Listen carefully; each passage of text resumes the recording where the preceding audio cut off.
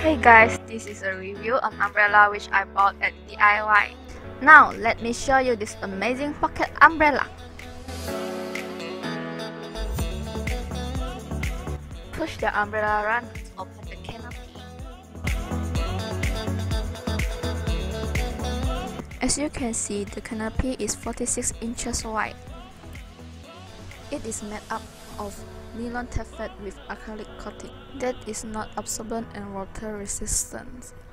There are 10 reinforced flexible ribs, thus it will not break under any pressure.